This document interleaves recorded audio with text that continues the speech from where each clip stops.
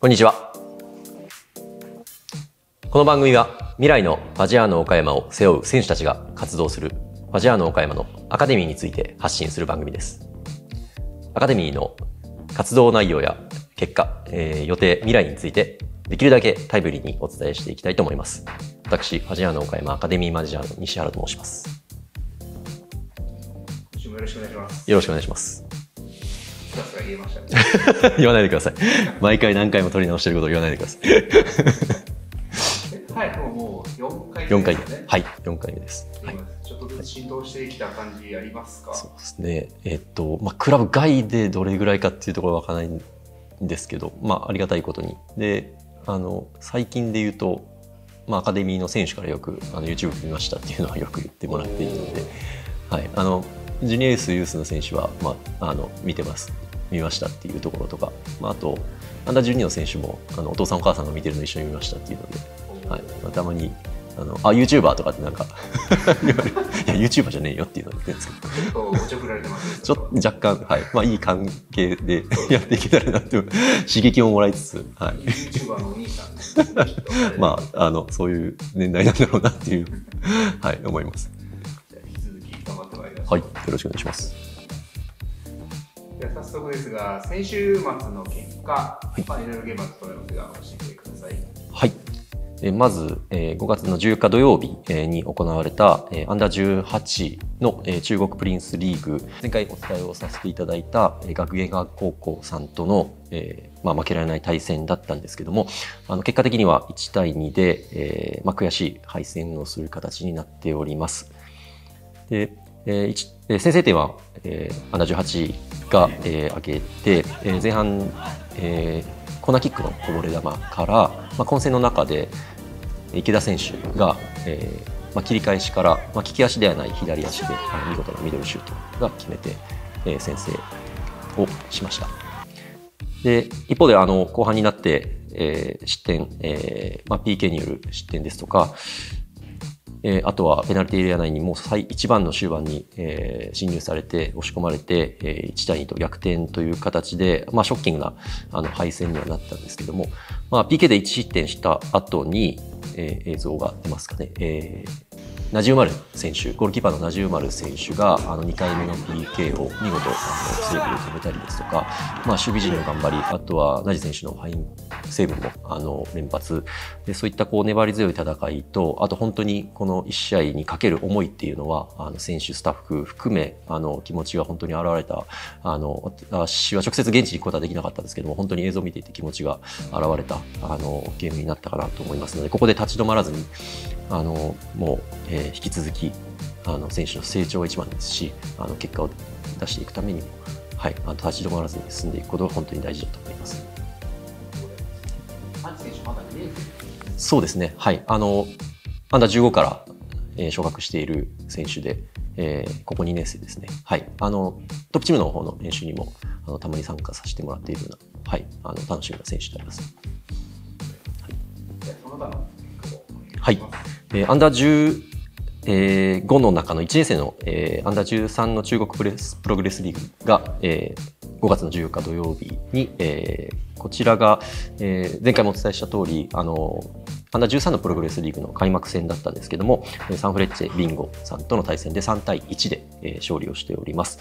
えー先制点はえー前半、えー、五花優馬選手という、えー J フィールド岡山さんから、えーアンダー15で加入してもらっている選手が左サイドを侵入して得点を挙げております。で後半あの失点を許したものの、えー2点目は、えー右サイド、えー水船匠選手、えー総者、えー北、えーから加入している、えー選手のえー右サイドの、えークロスから、えー同じく五花選手が、えー押し込む形で2点目で、えー3点目は、えー相手のスローインをアンダー12から昇格をしている、えー森選手のヘディング、えー、そらしたところから、えー、堤選手、えー、太田 FC から、えー、この度加入している堤えー清志郎選手が、えーワンタッチで、えー見事なミドルシュートを決めて、えー3対1で勝利をしております。えーとアンダー15の3年生の方のプログレスリーグが、えー翌日の、えーと5月の15日日曜日に、えー、実施されて、えー、FC 常石さんとの対戦になりましたが、こちらに関しては、えー、1対2で、えー、敗戦する形となりました。えー、先制点は、えー、岡山アンダー15が挙げて、前半に、えー、抜け出したフォワードの坂本選手が倒されて、まあ、得た PK を自ら決める形であの先制をしておりますが、まあ、後半に、えー、失点をする形で、敗れはしまったしてしまったものの、まあ、あのポジティブなプレーもあの多々、えー、あり、えーまあ、先制点の、えー、PK のところのシーンなんかに関してはあの、まあ、奪ったボールをセンターバックの千田選手があの右サイドにこうパスを送るかと見せかけて縦にスパンと速いボールを入れてで2年生のあの山内選手右サイドハーフの山内選手がいい侵入からスルーパス。で、えーまあ、抜け出したのは坂本選手なんですけどその前に同じくフォワードの方末宗選手が、まあ、背後抜け出してくる坂本選手を感じてか坂本選手から声がかかってかはちょっと僕もあの確認はしてはないんですけどもそこを感じ取りながらあの絶妙なスルーをえー、決めたというところであのすごいいいシーンだと思います。はい本当にあの躍動感のある年代であの選手から本当にあのエネルギーのある、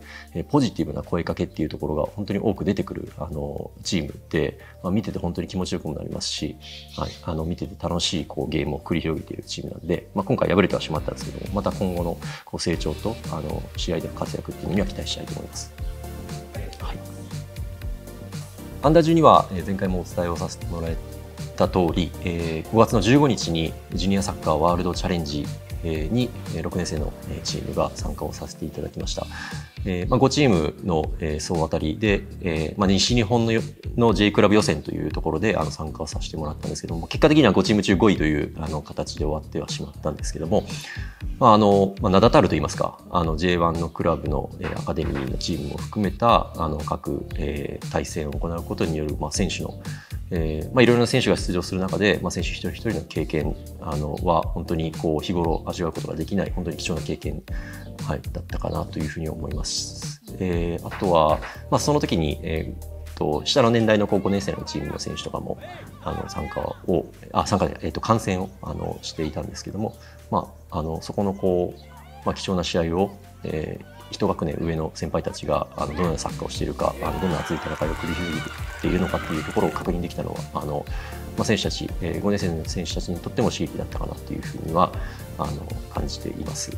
あとはあの6年生のその試合後ですとかあのもうこう他のこう J クラブの対戦後の選手たちとの親睦といいますかあのコミュニケーションを取りながらあのまたねとかっていう手振って挨拶をする風景とかもあったりして本当にあのそういう意味ではあの総合的に本当にあの貴重な機会だったかなと思います。はいありがとうございました。では続いて今週末の予定についてはい、はい、まずアンダー18が今週末22日の日曜日に、えー、J ユースリーグ、えー、の開幕節として、えー、蒲田マーレ佐野さんと、えー、2次キックオフで正田で、えー、対戦をいたします。まあ、ここから、えー、中国プリンスリーグであったり岡山県リーグがあの一時中断期間となる中で、えっ、ー、とまた新たな、えー、と公式戦のところで、えーまあ、今かつ、えー、2年ほど前までは、えー、J ユースカップというカップ戦だった、えー、大会が昨年から、えー、J ユースリーグというリーグ戦に、えー、形を変えてで年間通じて、えー、中国、えー、地域だったり四国地域だったりあのとのこう J クラブアカデミーとの対戦を、えー、年間通してやっていく。ただ、えーと、そこがアンダー17、えー、年代なので、まあ、高校2年生以下に、一部、えー、オーバーエイジ枠として、まあ、高校3年生もあの数名こう出場できるようなレギュレーションになっているんですけども、まあ、目的は17歳以下のあの選手の成長というところを J リーグが目的として今、えーと、形が変えたリーグ戦にあの今週から、えー、戦うことになります。でえー、アンダー15、えー、が、えー、今度21日の土曜日に、えー、プログレスリーグ、えー、廿日市 FC さんとの対戦え3時から長崎の祖母公園での対戦となっております。えその前に、えトレーニングマッチでアンダー14、2年生のチームが同じく廿日市さんと、えトレーニングマッチを行います。アンダー13は、えー、と先週の、え開幕戦に続き第2節、えプログレスリーグを、え広島のピジョン FC さんと、え広島の会場で、え2時半からの対戦となっております。アンダー12は、6年生から4年生チームまで、まあ、各、えートレえー、練習試合や、えー、練習を行う中で、えー、5年生の、えー、チームが岡山の東部リーグ、えー、を6番側にて、えー、日曜日に、えー、戦います。まあ、3試合開催となっております。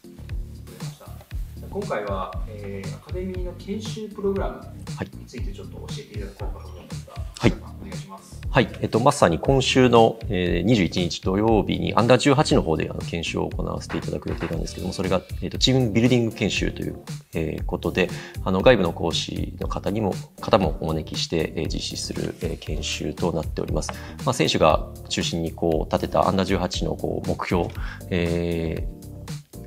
なんかがある中で、まあ、あの活動もこうスタートしていてそれに沿ってこう今現状どうなのかっていうところの,、まあ、あのこともこう振り返りとして行いつつそこから目標達成に向けた、え選手のこうメンタル的な心構えですとか、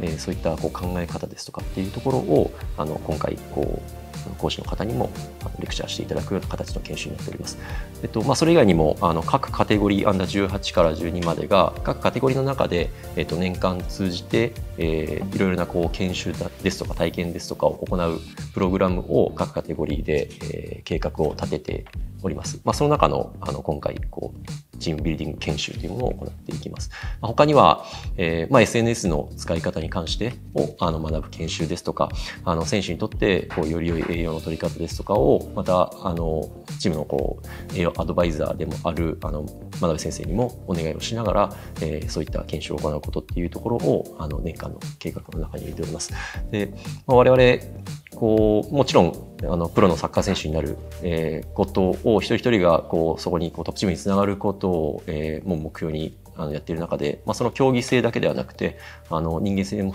優れた、えー、真のプロフェッショナルといいますか、はい、あのをこう目指して我々も指導していく中で、えー、そこのこう人間性の部分についてもアプローチしていけるように、えー、そういったあの各カテゴリーで、えー、必要なこうそれを身につけていくための、えー、研修っていうところを計画立てて、えー、行っているところです。ありがとうございます。すごくこう旗から見て旗から見てっていうか僕が見ていてもそういった研修っていうのはすごく充実しているように見えるんですがこれはリーグの指導のもとやってるものとクラブの、えー、独自でやってるものどちらもあるんですか？はい。えーと、おっしゃる通りですその J リーグさんから今提供してもらえる、していただけるプログラムとして、まあ、アンダー18の高校生年代を対象に、プレプロフェッショナル研修っていうものを全5回で実施していて、まあ、これはあのプロになるために、プロを目指すためにあの必要な知識であったり、あとは心構えのところを、えーまあ、身につけていく会えー、そんな目的とした会になっております。あとは、アンダー15の、えー、J リーグ版世の中化という、あの、まあ、サッカークラブを中心とした、あの、サッこうサッカーのこう世の中がどう成り立っているのか、まあ、それをこう、まあ、もっと広めてその世の中がどういう仕組みで成り立っているのかっていうところを学びながら、えーまあ、将来の目標設定なんかもしていくっていうようなあのそういった2つのプログラムは、えー、J リーグさんの提供によるものである中であの、まあえっと、それ以外を中心には、えー、クラブ独自に計画していくプログラムになっております。ありがとうございますはい。では、今週のアジアの岡山アカデミーニュースは以上とさせていただきます。アカデミーの選手にも、えー、YouTuber と言われたので、せっかくなので、えー、高評価、コメント、えー、チャンネル登録、ぜひぜひよろしくお願いいたします。ありがとうございました。